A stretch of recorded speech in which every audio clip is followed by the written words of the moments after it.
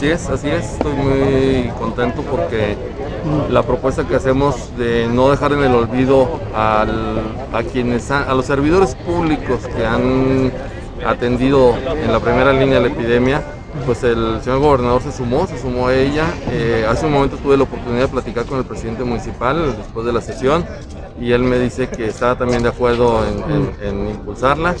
Eh, ¿Cuál es el mejor momento? Pues evidentemente pues tenemos que esperar que termine la, la epidemia para tener el saldo final de las inscripciones que tengan que hacer en este memorial. Pero bueno, ya se está pensando en el lugar, ¿no?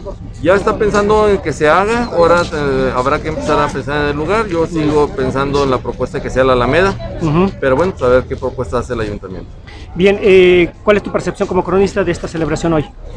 Yo creo que fue una celebración austera en términos de la presencia de la, de la población y qué bueno, porque lo que estábamos convocando es que no viniera la gente, pero importante en términos de que se, de que se realizó, de que se eh, perpetúa el momento de la celebración del aniversario y fue una oportunidad, lo escuchamos tanto del gobernador como del presidente municipal, pues de hacer una reflexión de cómo ha evolucionado nuestra ciudad y los problemas que hemos enfrentado en la ciudad. Y qué bueno que tomen conciencia de que pues no todo ha sido color de rosa, no todo ha sido eh, eh, como uno quisiera. Hemos enfrentado problemas, pero hemos sabido resolverlos. Yo creo que eso es lo más importante de esta sesión, que quedó muy claro que quienes nos dirigen tienen la, la claridad de que frente a los problemas, si se actúa de manera correcta, se pueden resolver.